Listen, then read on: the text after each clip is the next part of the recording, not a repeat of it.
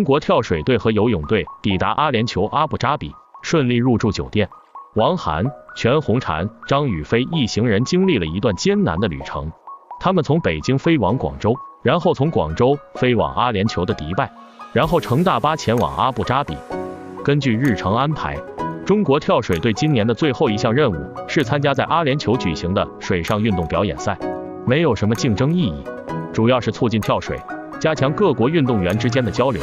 中国跳水队派出了两名奥运冠军代表全红婵和王涵师姐，中国游泳队派出了两名奥运冠军代表张雨霏和汪顺。在等待航班时，全红婵展示了她强大的社交能力，并与比她大十多岁的游泳队大哥汪顺聊天。他们俩笑得眯起眼睛。全红婵剪了个新发型，不过看起来刘海有点层次不齐，像极了狗啃的样子，看起来比以前更可爱了。再加上他的人气很高，很快成为人们关注的焦点。与两个月前相比，全红婵的身高也长了很多，脸也更圆了。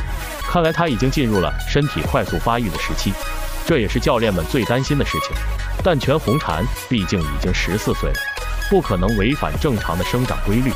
接下来他能做的就是尽可能控制体重，并想办法适应这种变化，不断调整和改进他的个人技术动作。虽然长高了很多，但在高大的游泳运动员中，他看起来还是那么小只。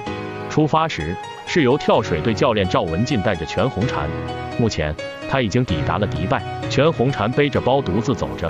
没有和他的教练在一起，然后到了阿布扎比下榻的酒店，全红婵正在等着办理入住手续。他提着一个大袋子和一个手提箱。全红婵每次外出比赛都会带上自己的娃娃。他在奥运会和全运会期间，全红婵都带着洋娃娃，并在酒店里遗忘了他哥哥送给他的幸运洋娃娃一头驴。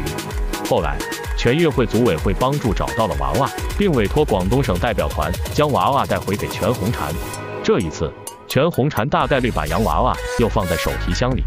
跳水奥运冠军王涵也参加了阿布扎比表演赛，他展示了酒店的照片和酒店的外景，外面的风景很好，天空很晴朗。团队的另一名成员在社交媒体上发布了这次旅行的一些情况。他们到达旅馆时，收拾了一番就吃饭，随队人员还晒出了酒店房间，房间很宽敞，入住环境还不错。